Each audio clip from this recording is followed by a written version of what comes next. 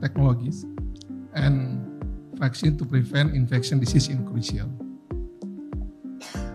This can be uh, achieved by increasing funding and, and, and investment in research and development, establishing supportive legislative framework. We also need to create clear uh, rules and ways to approve arboviral vaccines so uh, that they are safe, effective, and highly quality.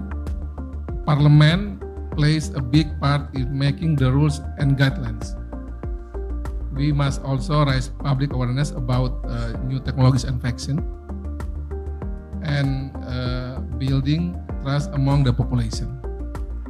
We should also make sure that everyone has equal access to vaccine, especially people who are vulnerable or high in high risk areas.